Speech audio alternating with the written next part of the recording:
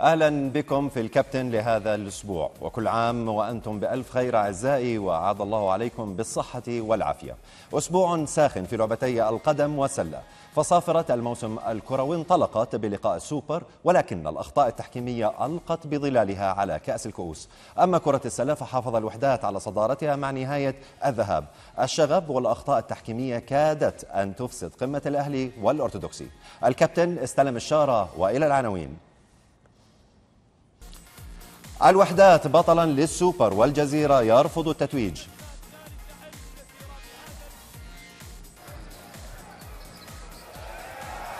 وسلة الممتاز خضراء مع نهاية مرحلة الذهاب.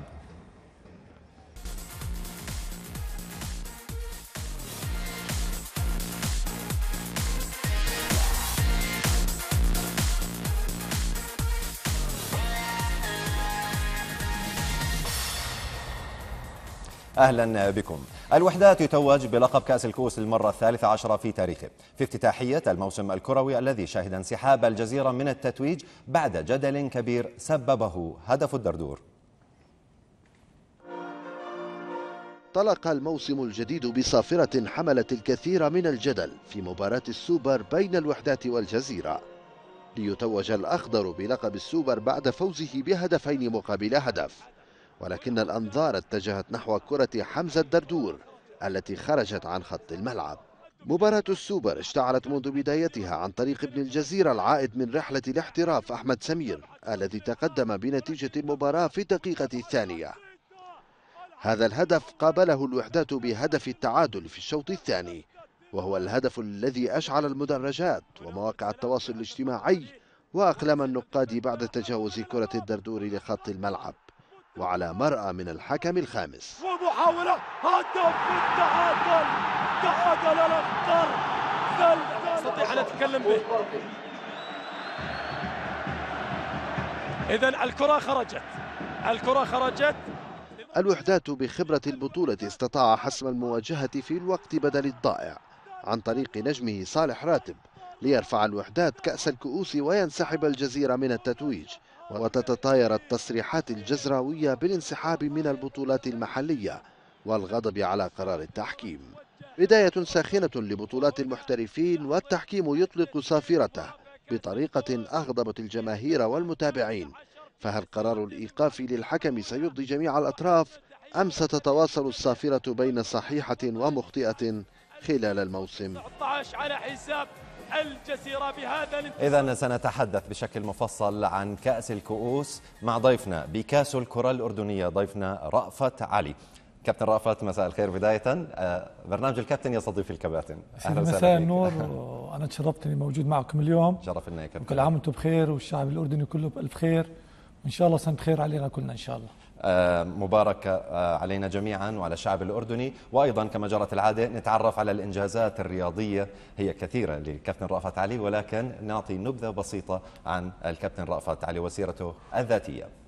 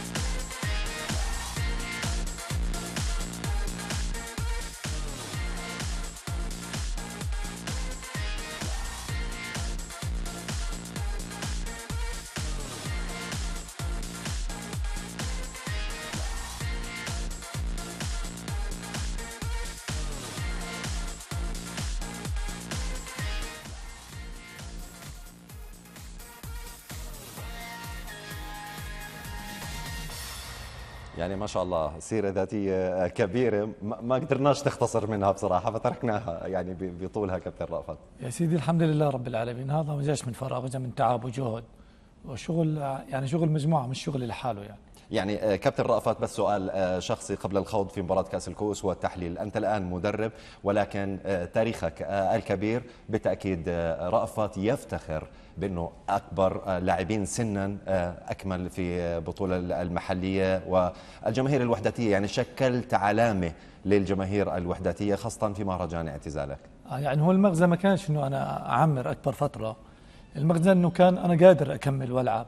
كنت أقدر ألعب كمان وكمان بس لكن الحمد لله الوقت كان مناسب والإنجازات اللي أخذناها بالموسم اللي اعتزلت فيه كانت مميزة. فعشان هيك أخذت القرار باعتزال. هو قرار صعب جدا لكن بالنهاية بدك تعتزل. ما راح تتخلد يعني بالفوتبول. بالتأكيد ما شاء الله. يعني بقى يسلمك. بعدك سمباتيك الله يسلمك. إذا خلينا نبدأ بكأس الكؤوس. آه، كيف رأيت مباراة كأس الكؤوس بين الوحدات والجزيرة؟ وهي مباراة افتتاحية للموسم الكروي. يعني زي ما انتهيت أنت من الكلام إنه مباراة افتتاحية موسم.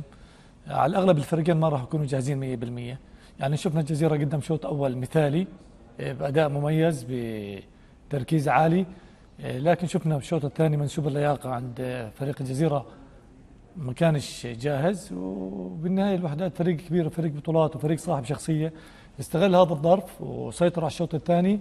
وقدر يسجل هدفين ويفوز في المباراة.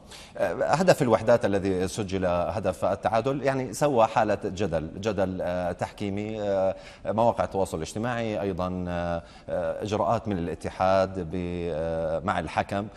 موضوع كيف ترى موضوع الظلم التحكيمي اللي بتطلقه الفرق خاصة بعد خروجنا من كأس العالم ونظام الفار والرجوع مرة أخرى لتقليل الظلم على الفرق؟ في احتساب الحالات. يعني بدك تكون نكون واضحين. حتى لما سوى الفار كأس العالم ما كانش على كل المنتخبات. يعني كانت في منتخبات تأخذ الامتيازات هاي بكل المباريات وفي منتخبات انظلمت كثير حتى بالفار. لكن هي هي لعبة الأخطاء أصلا كرة القدم. بس أنا لو أني موجود بالملعب ما بقبل وراح أعصب ونرفز وأعترض يعني لو كنت في الملعب كابتن آه، في هاي الحالة وأنت كنت مع الجزيرة على سبيل المثال أول حالة كانت ضد الوحدات. راح أعصب ونرفز يمكن أطلع من الجو وتروح علي المباراة. بس لكن بالنهاية بنحكي لعبة الأخطاء. إحنا ما بنبرر للحكام ولا بنبرر للعبة. اللعبة حلوة بأخطائها بتحكيمها الجيد بتحكيمها المتوسط. ادائها الجيد وادائها المتوسط. لكن بالنهاية آه، غلط وبده يصير لأنه الحكم لما حتى بده يشوف الكرة تطلع من داخل الملعب. مم. لو الحكم طلع من خارج الملعب كان شاف الكرة بكل وضوح. طيب كمدرب حالي ولاعب سابق لك خبرة كبيرة وتعاملت مع الحكام آه، باللحظات الجيدة والصعبة كيف تقيم مستوى التحكيم سابقا وحاليا؟ له التحكيم بتحسن مستمر. حتى عنصر الشباب قاعد بيظهر بشكل كبير. آه، بنتمنى آه، التركيز يكون أعلى من هيك. مميزين الحالة البدنية عندهم ممتازة. لكن بضل في شغلات بسيطة آه، ما بيعيروها الاهتمام.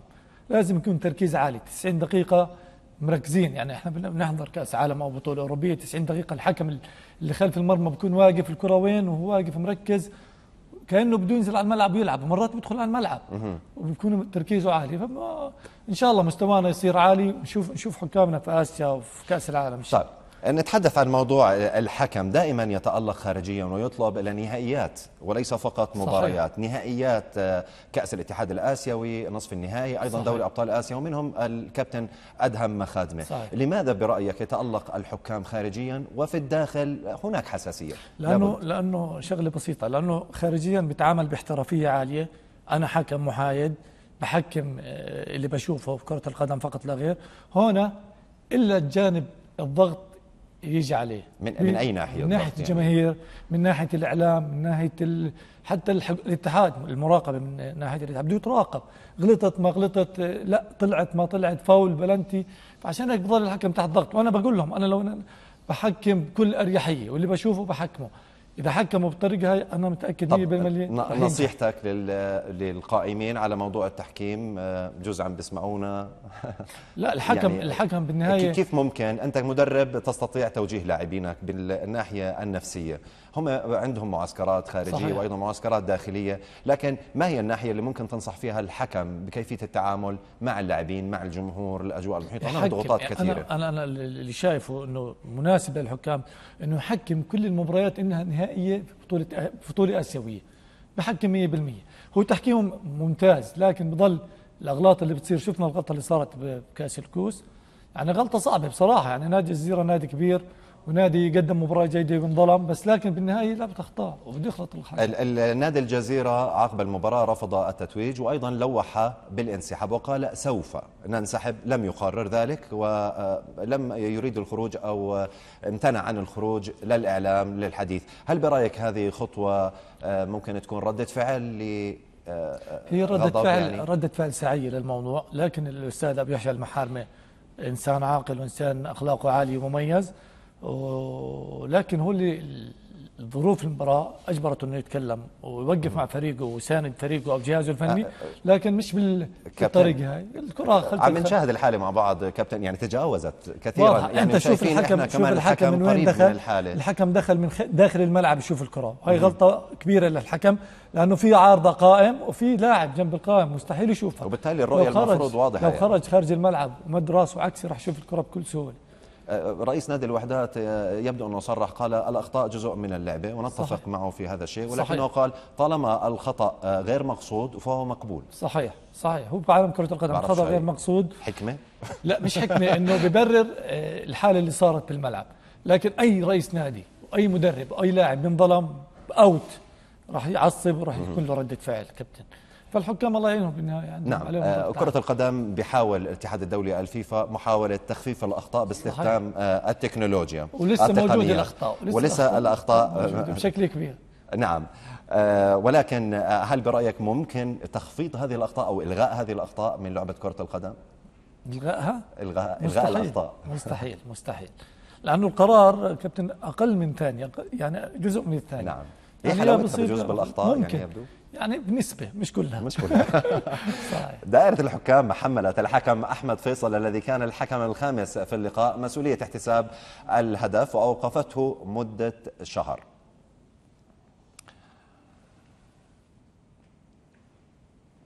إذا آه، طبعا على خلفية الهدف المثير للجدل في نهائي كأس الكؤوس محملة الفيصل أحمد فيصل مسؤولية كونه الحكم الخامس ولم يتخذ آه، قرارا صحيحا. يعني عقوبة إيقاف لمدة شهر للحكم أحمد فيصل ببداية أو أول مباراة في الموسم الكروي افتتاحية موسم كروي حرمان مدة شهر. طبعا الشهر بجوز مرحلة آه، أسبوع واحد فقط. مش مشكلة الشهر إنه في تحكيم أو في مباريات أو ما في. المشكلة إنه الغلطة قاعدين بنتعاقب عليها شهر. لو ما بنعاقبه شهر وبنحرمه من التحكيم مثلا مباراتين ثلاث كإجراء تأديبي بيكون أفضل من العقوبة شهر ما يحكم. يعني إنه ممنوع التحكيم أنت معاقب شهر. لا أنا بدون ما اعلن إنه معاقب شهر بقدر أعاقبه وأفرجيه غلطه وكيف ليش غلط وأشرح له ليش غلط. ويتعلم إنه لازم الكرة هاي في لاعبين وفي أزمة. أنا من خارج المرمى أطلع على الكرة مش من داخل المرمى. يعني في شغلات بسيطة. هو العقوبة كابتن مؤذية لأي إنسان. يعني نفسيا مؤذية. بداية موسم بداية موسم حكم خامس أول مرة تقريبا عندنا بتصير. يعني بداياتها وصار في عليها عقوبة. هي مشكلة بتسوي ضرب لل نعم. الاجراء اللي اتخذناه يعني. الناحية الجماهيرية نتحدث عنها. مباراة مباراة افتتاحية للموسم. وشاهدنا هذا الزخم الكبير جماهير الموالية لنادي الوحدات المنظمة وهي تشجع نادي الوحدات. كيف تتوقع آه، الزخم الجماهيري في الموسم الحالي ومقارنة بالموسم الماضي أيضا. يعني مقارنة بالموسم الماضي يعني شفنا الوحدات والفيصلي حضور جماهيري حتى الرمثة بداية الدوري كان حضور جماهيري لا يوصف يعني بدرجة كبيرة. السنة هاي جمهور الوحدات هو متعود يحضر مع فريقه بصراحة. إن كان فايز أو لا سمح الله متعثر وخسران أو متعادل إن كان بينافس على بطولة أو بينافس. يعني رأفت علي يسيطر على الجماهير. عندك آه، بيكاسو. آه لا لا محبة. محبة هي. محبة يعني بتوصل فيك مرحلة إنك قادر على إسكات الجمهور تهدئتهم بإشارة واحدة آه رأفت؟ لا ممكن هسه أنا آه، ببادر الجماهير صدقا. آه. أنا بعيد عن النادي حاليا وبعيد عن الجماهير. حتى اللحظة أبادلهم نفس الشعور وأنا متأكد أنهم بيبادلون نفس الشعور بس لكن القائد اللي بالملعب بده يكون شخصيته قوية مش بالعفتك أو الصوت شخصيتك بأدائك بانتمائك لفريقك تمام. التزامك أكيد راح يلتزموا معك طب هل برأيك الوحدات يفتقد لقائد ميداني داخل الملعب؟ يعني ما بصراحة ما تخاف يعني مش هم عم بتغيروا يعني اللعيبة بس يعني اهتزت اهتزت شوي. نعم من هو القائد اللي بقدرته حمل شارة الكابتن ويكون القائد؟ شارة الكابتن والقائد اللي يستطيع نقل تعليمات المدرب وأيضا السيطره على أداء يعني الفريق. يعني هو اللاعب المميز اللي دائما بيتحمل مسؤولية في كل المباريات هو اللي بقود المجموعة اللي بيحمس اللاعبين اللي بيكون دائما بالواجهة بالامور بالأمور السلبية بيجي بوقف قدامهم ما بروح بيتخبى بالامور السلبية والأمور الإيجابية بيجي بلاقيه أول واحد. عكس يعني عكس الأمور. يعني الأمور بحب الإيجابية بده يبعد خلص. الأمور الإيجابية بحب خلص دبلوماسيتك في ال... لا لا والله صفات القائد. بده يكون يعني أول ما لما يصير الضغط على الفريق بده يجي ما يبعد. أكيد. كابتن رأفت رح نتحدث أكثر عن الفنيات هذه المباراة للوحدات والجزيرة ولكن مشاهدينا بعد فاصل ابقوا في المتابعة.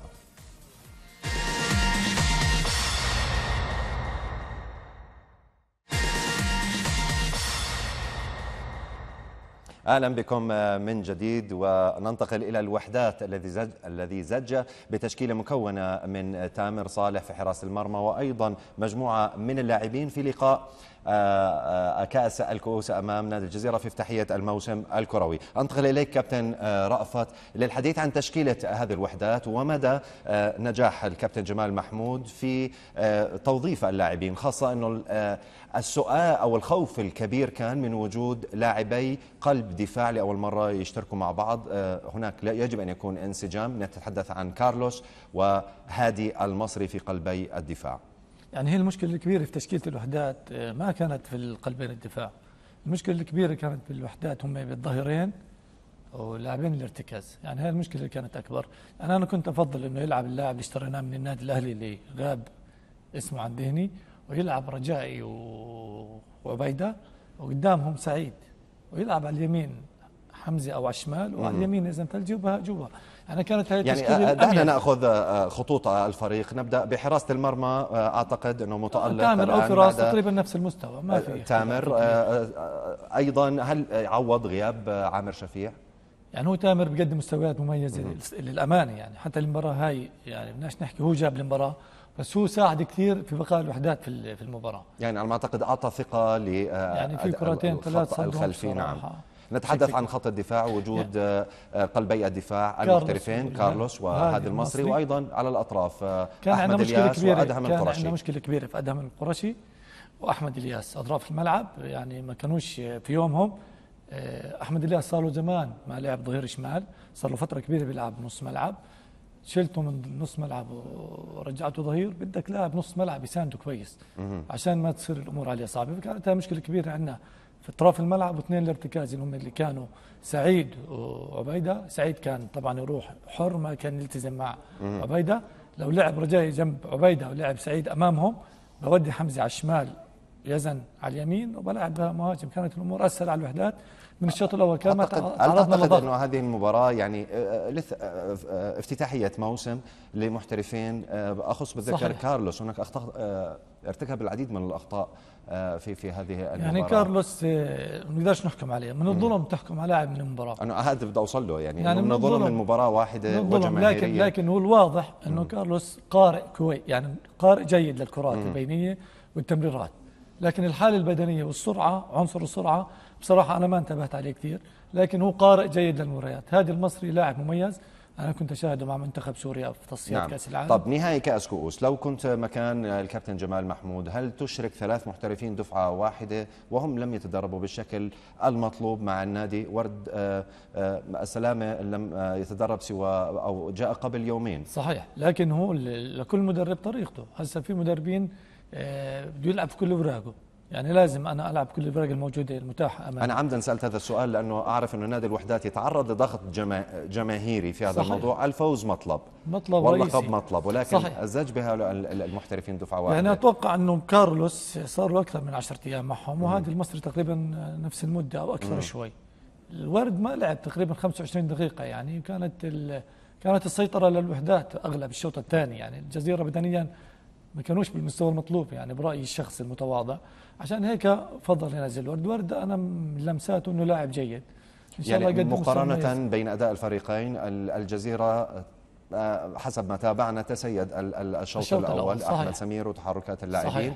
الشوط الثاني هل معناته أنه الوحدات اللياقة عامل اللياقة البدنية هو كان عامل اللياقة البدنية والحالة المرجح البدنية لل- للاعب مهم جدا كابتن. وأنت بتعرف هذا الحكي. إيه، المباراة مش 45 دقيقة ولا 70 دقيقة. 90 دقيقة ممكن توصل ل 95 و 96 فالوحدات الشوط الثاني كان أثقل حالته البدنية أميز. عشان هيك قدر يسيطر ويصل الجول الجزيرة أكثر من مرة. طيب نتحدث عن اللاعب عن الثلاثي يزن الثلجي أنس العوضات أيضا وبهاء فيصل. ونركز على أنس العوضات. هو لاعب كان في تحت سن 20 مع الكابتن آه، نعم. رأفت وحصل أيضا على هداف نعم. آه، في هذه آه، البطولة. رأيك في أنس العوضات؟ يعني أنس العوضات لاعب مهاري لاعب مميز لاعب عنده روح عنده رغبة بس برضه مش مش كفاية. بدنا التزام بدنا اهتمام من الجهاز الفني في الحالة النفسية للاعبين. يعني أنس من اللاعبين الحساسين. يعني من اللاعبين اللي عنده مشكلة بالعاطفة والعقل. يعني ملخبطات مع بعض. أنا هاي عن تجربة وعشتها معه. فمش سهل الأمور راح تكون مع مع أنس. بده مش مدرة ومراعاة. بده حالة بده ثقة بده دعم. فأنس لاعب مميز آه، أداؤه عالي. بس برضه حتى آه، اشراكه من بداية المباراة كانت صعبة عليه. كانت صعبة عليه لأنه في لعيبة كثير جداد بالفريق بالتشكيل. يحتاج آه ربما للتأقلم أكثر في بيحتاج وقت بس هو نعم. بالنهاية لاعب مميز وأتوقع له مستقبل جيد إن شاء نتحدث. الآن عن الهجوم هل آه الوحدات الآن يمتلك هجوم آه قادر على مقارعة الفرق تسجيل الأهداف بوجود بهاء فيصل وأيضا حمزة الدردور على الرغم من وجود تقاطعات بطريقة لعب اللاعبين يعني خلينا نكون واقعيين هو اللاعب الهداف 70% آه، بالبلد مش موجود. يعني من 60 ل 70% مش موجود. موجود 20 ل 25% من صفة الهدافين. الهداف آه، بده يكون آه، قريب على ال 18 دائما كل الأوقات. آه، ما يطولش بالكرة ياخذ قرار سريع. يعني هاي الأمور بنشوفها مفقودة. لكن بهاء فيصل وحمزة الدردور مهاجمين جيدين صاحبين مجهود عالي بيقدروا يضغطوا أي مدافعين بأي فريق منافس.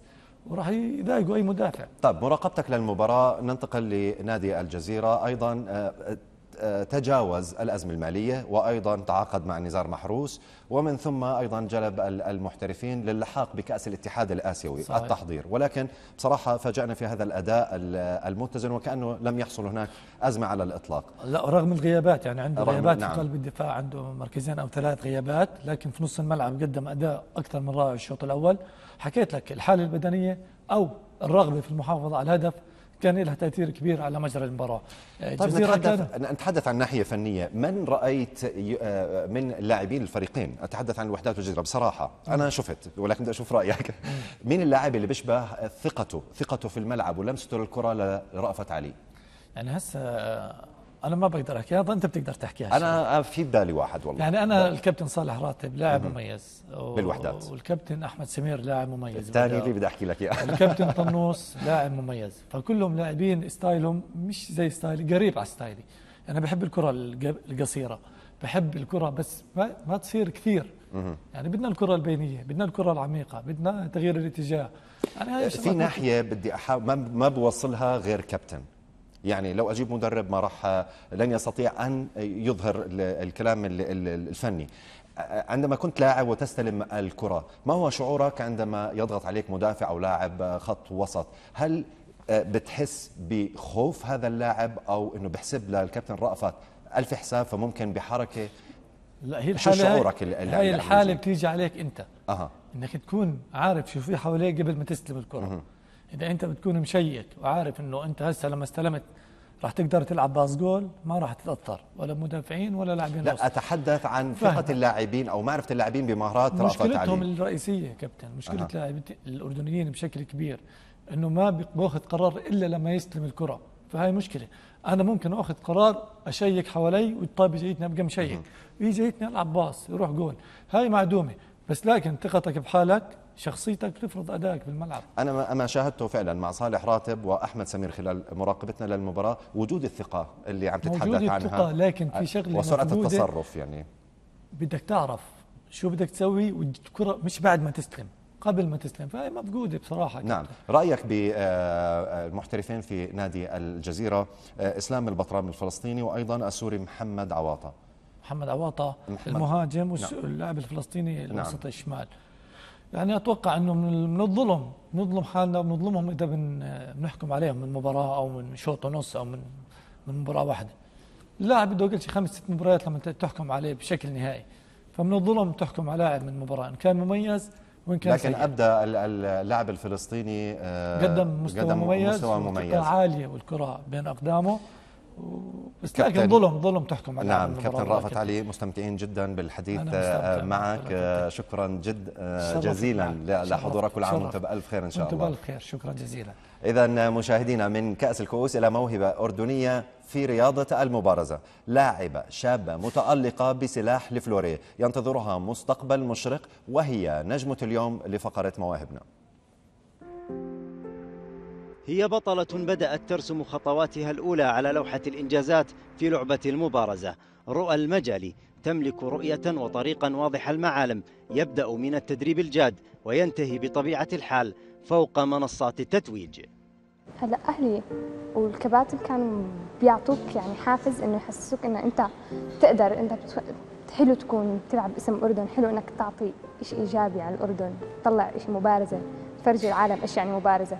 في ناس كثير ما بتعرف لما تحكي له مبارزة بحكي لك إيش هذا ما شيء غريب يعني. منذ نعومة أظفارها عشقت رؤى لعبة المبارزة ووجدت كامل الدعم من الأهل في لعبة تعد من الرياضات المكلفة. في تميز حتى مع أقرانها بنتي. حتى الكل بلاحظ هذا التميز في سلوكياتها في مواقفها في ردة فعلها لأي شيء بيصير أمامها في صقل بشخصيتها نتيجة لاختلاطها بالأكاديمية المدربين سواء العرب أو الأجانب نتيجة سفراتها برا البلد واختلاطها بأشخاص ولاعبين من مختلف الدول. كثير صقل لشخصيتها الحمد لله. البطلة البالغة من العمر 15 عاما نجحت خلال فترة وجيزة في تحقيق العديد من الإنجازات محليا وعربيا وآسيويا ولا تزال تضع عينها صوب الإنجاز الأولمبي والتأهل إلى دورة الألعاب الأولمبية في المستقبل القريب. رؤى حاطة هدف إلها بخلال الفترة الجاية أو من يوم ما دخلت على المبارزة هي حاطة هدف إلها وهي عم تمشي فيه شوي شوي لتوصل لهذا الهدف تبعها. إحنا آه، عندنا بطولة آسيا السنة الجاية م- مقيمين آه، مستضيفينها هون في عمان. وإن شاء الله بنطمح إنه بنطمح إنه يكون في عندنا نتيجة تحت 17 سنة بسلاح الفلوري عن طريق رؤى المجالي الطريق أمام رؤى لا يزال طويلا والإنجازات لن تتوقف عند هذا الحد. فإمكانية هذه البطلة تبشر بالمزيد من الإنجازات والميداليات الملونة.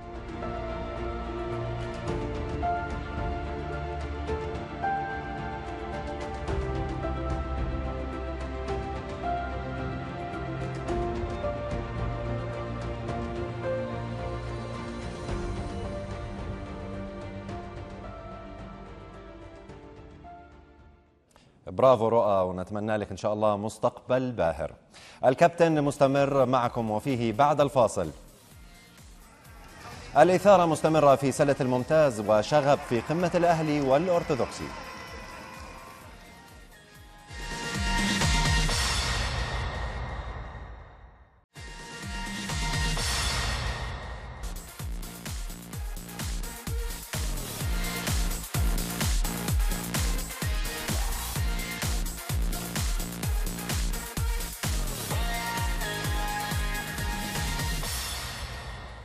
أهلا بكم من جديد. ننتقل الآن للحديث عن دوري كرة السلة الممتاز ولتحليل مرحلة الذهاب بعد انتهاء الجولة الخامسة والتي شهدت إثارة كبيرة على الصدارة بين الأندية.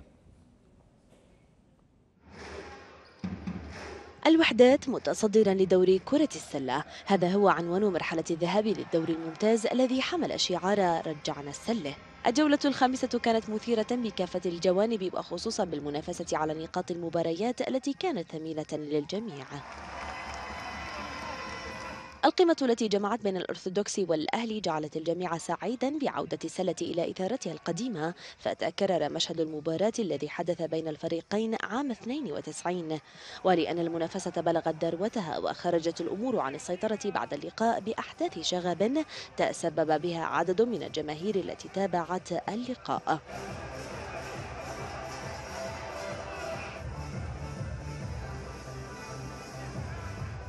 مع ختام مرحلة الذهاب تصدر الوحدات الفرق بتسع نقاط فيما تلاه الأرثوذكسي بثمان نقاط وجاءت باقي الفرق بسبع نقاط. الدوري الآن سيتوقف من أجل مرحلة إعداد المنتخب الوطني لتصفية كأس العالم وسيعاود الانطلاق بعد فترة شهر ونصف. إذا سنتحدث بالتأكيد عن إحصائيات هذه المرحلة والقاء الضوء على المرحلة الخامسة. وأيضا آه، تقييم لمرحلة آه، الذهاب بالأكمل مع نجم من نجوم كرة السلة الكابتن عماد السعيد. نرحب فيك كابتن عماد. أهلا وسهلا فيك. وكل عام وأنتم بألف خير إن شاء الله. كل عام وأنتم بخير والمشاهدين بخير والكل إن شاء الله الناس سعيد الأضحى. أهلا وسهلا فيك. أهلا وسهلا. وأيضا آه، ما شاء الله طلبنا منك السيرة الذاتية ولكنها فعلا سيرة ذاتية كبيرة للكابتن آه، عماد السعيد. دعونا نشارككم في هذه السيرة.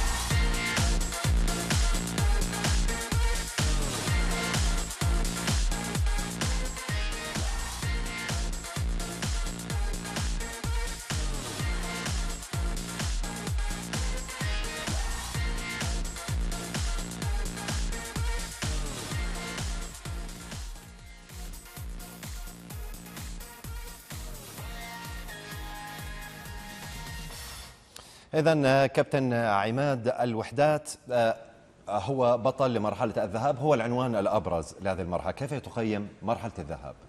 أكيد ال- الفرق كلها هي الاستعداد بشكل عام للفرق كلها كانت آه، فترة مش كافية أكيد للفرق كل الفرق اللي شاركت بالدوري. بس نادي الوحدات الفريق الوحيد اللي قدر يستطاع إنه يحافظ على أدائه الهجومي والدفاعي بعد خسارته لاول مباراة بالدوري. ويمكن خسارته أول مباراة للدوري كمان جاءت لظروف إنه الاستعداد كمان كان أضعف لأنه مدربهم كمان ما كان موجود مع الفريق كان مع منتخب الناشئين وإجا في آخر وقت واللاعب السنان كمان إجا يعني قبل الدوري بيوم بس استطاعوا بعد خسارتهم أول مرة إنه يجمعوا حالهم ويحافظوا على المستوى تبعهم بال- بالأداء للمباريات الأربعة الفائقين وقدروا يفوزوا فيهم المباريات الأربعة التالية. آه، كان يلقب أو من خلال مشاهدتنا للأداء لنادي الوحدات فريق جماعي. فريق آه، جماعي، ما نعم. بيعتمدش بس على لاعب واحد الهداف ولكن في مجموعة من اللاعبين. في مجموعة من اللاعبين والمجموعة كمان الموجودة الخمسه من الملعب الموجودين كمان لاعبين مع بعض بالمنتخب لفترة قريبة يعني مش بعيدة إنه دائما كانوا متجمعين مع بعض خلال معسكرات خلال آه، تدريبات آه، المنتخب. كانوا موجودين الخمس لاعبين تقريبا مع بعض خلال هاي الفترة. وشغلة مهمة كثير الجمهور كمان تبع الوحدات. أعطى دافع كبير ل- أكيد للاعبين للاعبين بالملعب إنهم يبذلوا لأنهم الفريق الوحيد اللي عم بشوفه عم بيبذلوا فعلا آه، مجهود بالملعب و- ومتكاتفين وبيساعدوا بعض كثير بالملعب. إذا مع انتهاء مرحلة الذهاب دوري آه، كرة السلة بانقضاء المرحلة الخامسة جاءت النتائج آه، على النحو التالي. نذكر المشاهدين بنتائج المرحلة الخامسة. آه، نجح كفريوبا بالتفوق على الرياضي بفارق بس أربع نقاط. بواقع 55 نقطة مقابل آه، و- آه، 51 بينما تفوق الأرثوذكسي على الأهلي بلقاء يعني لقاء العراقة. وكان لكم آه، كابتن عماد. لقاء لأساطير الأردن في كرة السلة بين أيضا الأهلي الأرثوذكسي الفارق كان نقطة واحدة بنتيجة 84 للأرثوذكسي مقابل 83 للنادي الأهلي. سنتحدث عنها أيضا آه، بالتفصيل. ومن ثم تفوق الوحدات آه، على الجزيرة بواقع 88 نقطة مقابل آه، 82 آه، نتحدث عن النتائج آه، آه، مع نهاية هذه المرحلة استطاع الوحدات أن يتفوق على الأرثوذكسي وينتزع آه، الصدارة ويبقي على صدارة برصيد آه، تسع نقاط بينما الأرثوذكسي في المركز الثاني برصيد ثمان نقاط. أربع فرق بقيت سبع نقاط آه، ولكن فارق آه، النقاط المسجلة آه، بينهم. الآن نتحدث عن آه، آه، مرحلة ولاعبين آه، من هم الأبرز في في كل الفريق؟ إذا تحدثنا مثلا عن نادي نبدأ بالصدارة. فريق نادي الوحدات آه، بناء على الإحصائيات. إحصائيات الجولة كاملة. هلا بناء على الإحصائيات صحيح إنه الدوري كثير كان آه، متقارب والنتائج يعني فيش فترة الواحد يقدر آه، تخربشنا يعني والله يتابع معكم كمان المباريات مين يوميا مين بشكل يومي يعني. آه واللعيبه كمان أسبوعياً. لعبوا في أكثر من نادي فالواحد مش قادر يتبع حتى اللعيبة يعني أنا. والله حاب أحكي وجهوا لي الكاميرا. يعني آه. هاي هي مساوئ انتقال اللاعبين بين الأندية. آه، ال- الجماهير بالعادة تتبع النادي لتعلقها باللاعبين ولكن عند انتقال اللاعبين أي نعم هناك توزيع للقوى ولكن موضوع الانتماء للاعبين آه، صار في لخبطة شوي عند آه، الجماهير المتابعة حتى المدربين. المدربين. اللاعب الآن يلعب في نادي على غير العادة. نعم. آه صح. فعندنا إذا بتلاحظ بالإحصائيات الموجودة في البطولة هاي في تقريبا ثلاث الوحدات والأرثوذكسي والرياضي والجزيرة عندهم آه، لاعبين استطاعوا أنهم يتخطوا حاجز ال 100 نقطة 100 في نقطة. في المباريات كلها. فهدول الفرق ال- كلهم تقريبا عندهم ناس طلعت فوق ال 100 نقطة. في عندنا ناديين اللي هم الأهلي والكفريوبا عندهم اثنين لاعبين ما قدروا يتخطوا ال 80 نقطه. في هذا هلأ اللي ساعد الوحدات والارثوذكسي يمكن إنه كان في لاعبين بالملعب كمان قدروا يتخطوا حاجز ال 70 نقطة. يعني بالوحدات في عندنا ثلاث لاعبين قدروا يمرقوا عن 70 إذا نقطه من هو أبرز اللاعبين آه، من الناحية الإحصائية اللي الناحية الإحصائية. مجمل في نادي الوحدات. نبدأ بنادي الوحدات. آه، أحمد الحم- الحمارشه هو ال- الهداف تبع الفريق تبع الوحدات. وفي عندنا بالارثوذكسي أحمد عبيد وفي عندنا بالرياضي أبو وزني يوسف وبالأهلي مالك آه، مالك عنده ال 80 بالجزيرة آه، محمود عابدين كمان تخطى ال 100 نعم نقطة. أحمد حمارشه نتحدث إنه 110 آه، نقاط سجلهم خلال خمس مباريات أي بمعدل آه، آه، تقريبا أكثر من 20 أكثر من نقطة. 20. وأيضا في نأخذ ال rebounds وال assist هي التي تعطي للاعب أكيد طبعا. أفضلية في في مركزه. كلها بتخط كلها بتعتمد ال efficiency تبعته على ال assist وال turnovers وال والشغلات هاي كلها اللي بتصير بالملعب. فعندك هون هدول ال- يعني تقريبا هدول اللاعبين هم اللي اللي اللي نعم. أحرزوا أكبر عدد من النقاط بفريقهم. آه، آه، النادي الأرثوذكسي. الأرثوذكسي نتحدث عن لاعبين آه، وجود آه، أعتقد آه، أشرف الهندي أمين أبو حواس آه، أيضا متألق أحمد عبيد. أكيد هو عبيد ال- بالدوري هذا كتير متألق وبالهجوم عماله بيحرز ومن الهداف الموجود بالأرثوذكسي هو عبيد. وعندهم كمان اثنين لاعبين قدروا يتخطوا ال 70 نقطة بال بالإحصائيات آه، مثل أمين و كيف آه،. آه، كيف رأيت إدارة الكابتن معتصم سلامة للاعبينه يعني شاهدناه قادر على إدارة اللاعبين خططيا أكيد خلال من. الفرق اللي بدأ بالفوز رجع خسر مباريتين بس كمان خسرهم بدقائق أخيرة بثواني أخيرة خسرهم بس قدر يرجع يدرس الفريق يحلل الفريق يحلل الفرق اللي بدها تلعب معه وقدر يرجع يفوز بالمباريتين الأخيرين في الدوري. فالأرثوذكس كمان من الفرق اللي قدروا يستطاع المدربين الجهاز الفني عندهم يستعيد التوازن ويدرس الفرق الثانية اذا اللي قادرة ننظر. أحمد عبيد احصائيات لمرحله الذهاب آه، إجمالي النقاط المسجلة 103 نقاط. معدل التسجيل في المباراة آه، يعني قرابة آه، ال 21 نقطة ونسبة التسجيل الثنائيات 58% وهو يعني بمركزه لا يسجل الثلاثيات. ولكن الملفت للنظر هي ال rebounds وال assist في المباراة الواحدة آه، ب- يعني يعتبر double double double في في double double. آه، في آه، لغة كرة السلة يحقق التسجيل أكثر من 10 وأيضا ال rebounds آه، كمان أكثر من أكثر. من يعني عشرة. تعتبر من الأرقام الممتازة في عالم كرة السلة بإحصائيات؟ أكيد طبعا خاصة قابله بال- للتحسن هلا ما فيش شيء مش قابل للتحسن هلا عنده ممكن إذا قدر يحسن عنده الثلاثيات والمركز تبعه بالمركز تبعه كتير كويس بس إذا قدر كمان يزيد من نسبة الثلاثيات بصير عنده يعني سلاح جديد قوي بيساعده كتير بالملعب مشان يحسن كمان من نسبة تسجيله آه، للثنائيات آه، تحت السلة. نعم. اذا هذه هذه حسب الإحصائيات آه، التي تم آه، تجميعها خلال مرحلة الذهاب ننتقل الآن لفريق النادي الأهلي. فريق النادي آه، آه، من كان اللاع- اللاعبين الأميز؟ آه، هلا النادي الأهلي عندهم كان آه، اللاعب الأميز بالتسجيل كان آه، مالك. آه، مالك كنعان. عنده كمان 80 ما قدر يتخطى ال 80 نقطة أظن عنده 80 أو 82 نقطة. بس باقي الفريق كمان ما ساعدوا ما كان في عندهم آه، آه، بالأهلي. يعني كل اللاعبين الثلاثة اللي وراه اللي كويسين ما تخطوا ال 50 نقطة. يعني آه، إجمالي النقاط. لمالك كنعان 82 نقطة. 82 نقطة. معدل تسجيل 16 آه، 16 نقطة نقطة ونصف. نقطة. نسبة تسجيل الثنائيات 27% والثلاثيات 21% الريباوند 7 والأسيست آه، قرابة الثلاث. يعني بنشوف هون كيف الفرق بين عبيد وبين كنعان النسبة هون 27% مم. عند عبيد 58% نعم. فيعني عماله مالك عماله باخذ شوتات أكثر آه، نعم. عشان يوصل ال 16 نعم. نقطة.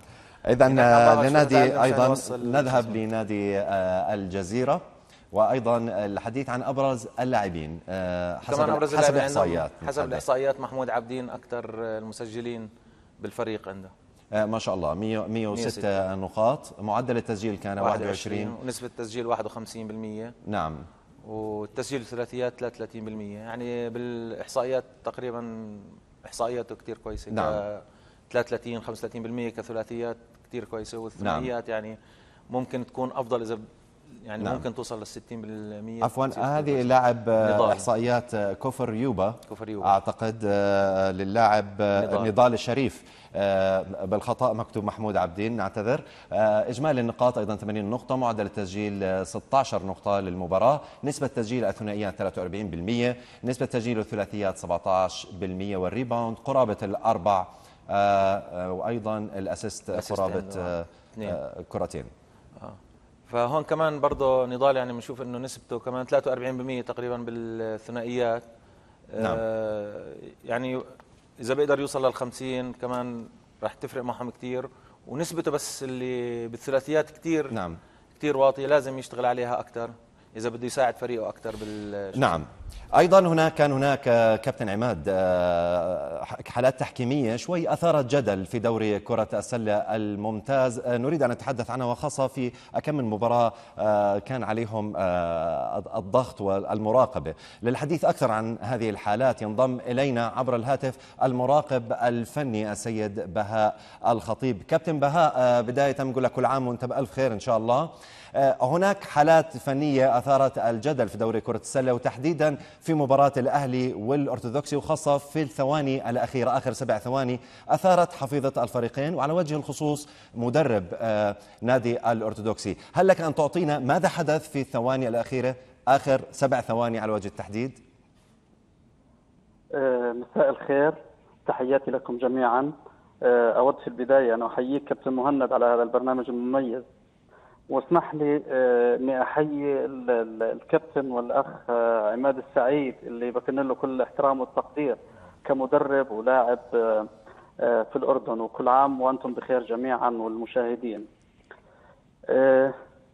إذا بدي أحكي عن ال- المباراة فال- في الثانية في قبل ما تنتهي المباراة بسبع ثواني كان فريق ال- النادي الأهلي مستحوذ على الكرة. و- والمفروض النادي الأرثوذكسي مستحوذ على الكرة والمفروض أنه آه، انتهوا ال 24 ثانية. يعني كان في آخر ثانية مع آخر ثانية في المباراة آه، صفر الحكم خطأ للاعب وهذا بيحصل في المباريات بشكل طبيعي. نعم. آه، الآن اللي اللي صار إنه بالحقيقة اللي بين لنا بعدين بعد ما شفنا الإعادة أكثر من مرة إنه الخطأ هذا كان آه، بعد ما انتهت ال 24 ثانية.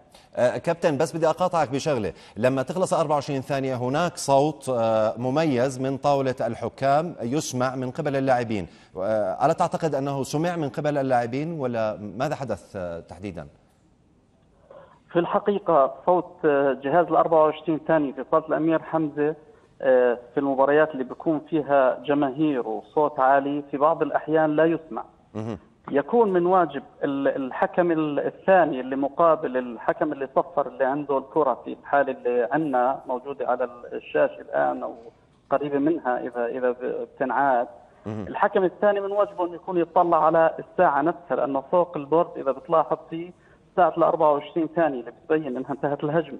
نعم. فالمفروض إنه في هاي اللحظة آه، يطلق صافرته إنه انتهت. لكن برضه ممكن الحكم الثاني يصير عنده آه، عدم دقة في إنه يعرف انطلقت صافرة الحكم قبل أو صافرة ال 24 ثانية قبل. نعم. هاي الحالات مثل هاي الحالات القانون عالجها بإنه وضع آه، اللي هو التقنية الجديدة اللي موجودة في كرة السلة من قبل عام 2014 اللي هي يرجع للبث التلفزيوني الفوري. هاي من الحالات المفروض يرجع للبث التلفزيوني ولكن كابتن هناك. ولكن على الرغم من إنه القانون آه، قد غطاها ولكن آه، نرى احتجاجات من آه، مدربين الفريقين حسب ما نشاهد في اللقطات التي نبثها على الهواء 100% هذا وضع طبيعي كل مدرب حقه إنه ي- يحتاج ويحكي إنه أنا قبل يعني نعم. مدرب ال- الارثوذكسي بده يحكي لك بالتأكيد بده يحكي لك إنه الخطأ آه، حدث مدرب الأهلي بده يحكي لك العكس. هذا هذا وضع طبيعي. ال ال القرار بده ياخذ الحكم في النهاية. واللي اتخذوه الحكام من اللي شفته بعد ما رجعت لها أنا بالحقيقة رجعت لل- للحالة لأنه إحنا كزملاء بنطلع على الحالات وبندرسها وبنتداورها لما رجعت للحالة نعم. وطلعت عليها وجدت إنه الحكم اتخذ إجراء صحيح. نعم. في البداية صفر وأعطى ال- القرار للخطأ. نعم آه، آه، رجع أس- لزميله حكى له انه إنه صار في آه، ممكن أستاذ- 24 ثانية انتهى. أستاذ بهاء أستاذ بهاء نعم. آه، الوقت راح يداهمنا. آه، إحنا وصلتنا تمام آه، التوضيح والشرح لهذه الحالة. بدنا نشكرك ونتمنى إن شاء الله نستضيفك في البرنامج حلقة تكون مخصصة عن التحكيم. آه، سيد بهاء الخطيب مراقب فني شكرا لك.